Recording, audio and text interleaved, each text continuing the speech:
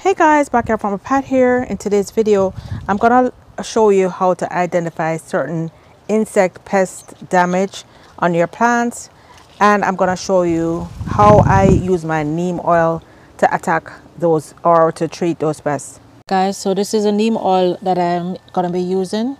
This is Neem Max Captain Jack's. Um, you can get it at Home Depot, Lowe's, I, I think several different stores.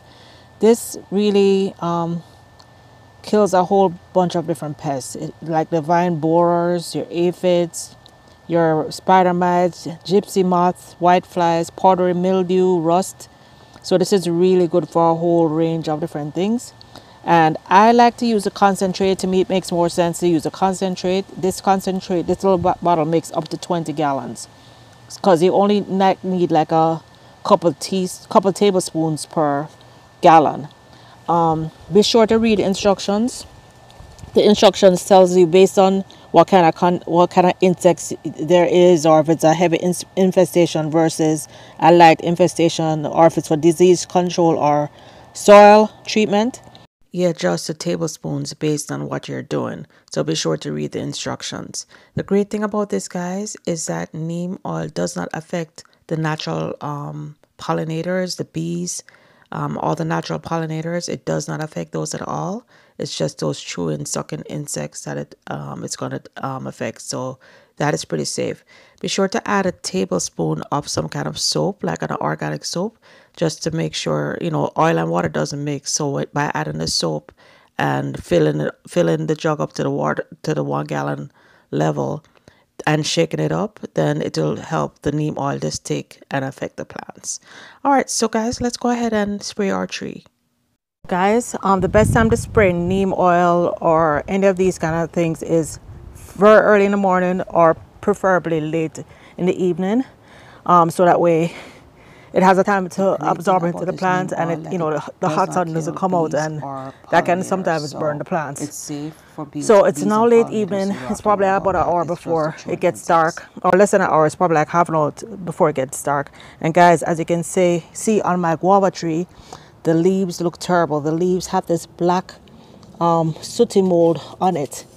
And what this black sooty mold is what happens is if you see plants with black sooty mold most likely when you turn the leaf over you're going to see some kind of spider mites or aphids or whiteflies or one of those sucking insects.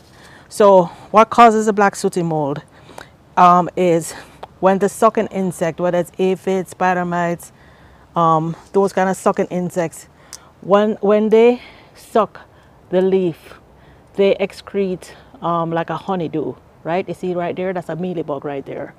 They secrete like a honeydew and then the honeydew attracts this black sooty mold fungus. The black sooty mold fungus feeds on the honeydew. So a lot of times ants mine the, the insects from the soil and bring them up to the plants. They suck the plants and they, they, excrete the honeydew. The ants like the honeydew and also it causes this um, black sooty mold fungus. This happens a lot, especially in rainy season, that the fungus builds up um, as you guys know, I recently retired, so I'm literally doing damage control throughout my garden. I did see this coming like probably over a month ago, but I just didn't have the time till now to really properly take care of the, the trees. Um, as a matter of fact, it has has a couple guavas. I want to take these ripe guavas off before I start spraying. Um, neem oil is, is safe to spray up to the day of harvest, but uh, you know and you can always just wash it off with water. It's nothing harmful. It's 100% organic. As a matter of fact my friend from India she wanted to, to me to mail her neem leaves because she actually drinks neem tea every day. Neem oil is also used in a lot of health products um, skincare products. So it's 100% healthy. However for chewing insects insects that you know suck the life out of the plant or chew on the leaves neem oil is deadly for them. So so that's a lesson on what this is you know I, I do have some spider mites underneath the leaves and I do have as, as I, I showed you um, mealy bugs and I'm pretty sure I have aphids as a matter of fact I did notice on one of my fruit let me see if it's this one I did notice on one of the fruits earlier and I'm not gonna see it now that I'm looking for it. Um, one of the fruit was actually covered with aphids and I'm not seeing it right now. Let me see if I can see it so I can show you what it looks like. I had wiped off most of the aphids when I saw it and then I stopped because I wanted you to guys to see it. But so this plant basically has spider mites, it has aphids, it has a whole lot of things going on. All that sucking causes the excretions and hence the sooty mold. Anyway, enough talking. I think you guys understand it. I'm gonna set my camera up and start spraying.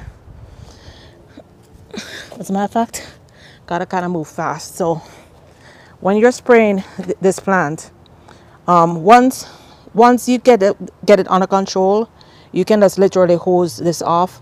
All this will just come off easily. You can see some of it is already coming off. Um, it's very easy to come off. It's very easy to wash off once it's dried on and you know once it rains a couple of times or I get to take the hose. But for now, I'm gonna wait. Let's pump this up. Let's get this pumped up. And I'm using a Ortho pump sprayer.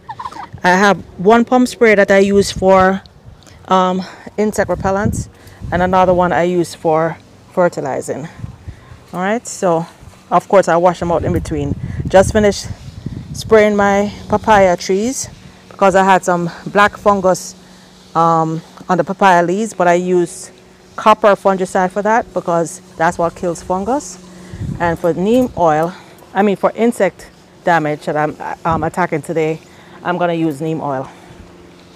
So as you can see, I'm spraying both the underside of the leaves and above the leaves just to make sure that I get everywhere that the insects could be. Nine times out of ten, guys, the insects like to hide underneath the leaves. So I always go all the way up, all the way around, spraying under the leaves. I'm not too concerned about spraying the fruit. Just going all the way up.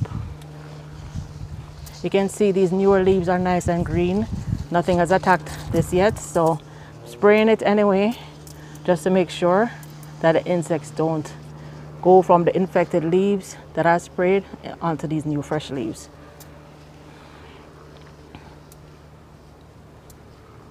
All right, so I'm just gonna go ahead and finish spraying top side, bottom side.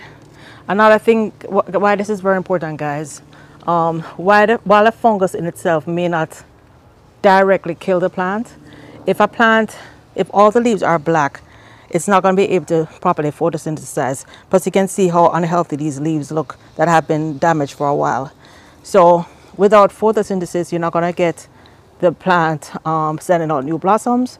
And the whole idea of having a fruit trees is that you're going to get fruit. So I'm making sure, what is this here? I'm making sure, you can see that was some kind of insects right there that ate through that leaf. That's a sucking insect damage. Yeah, so you want to make sure that um, you're getting every every single leaf. You're getting every leaf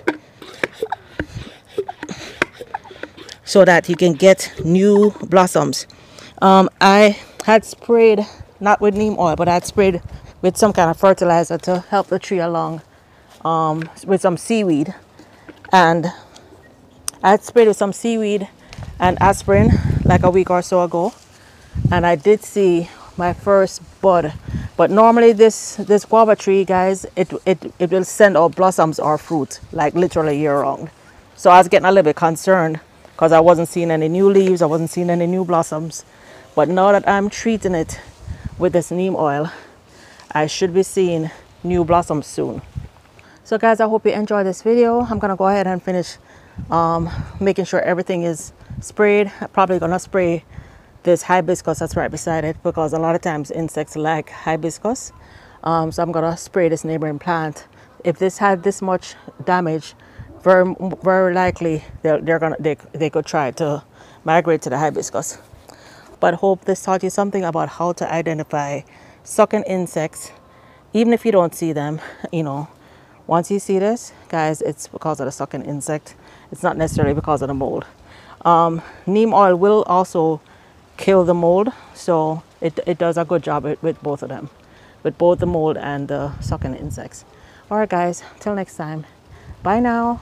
Hope you, I hope you enjoyed and I hope you learned something new.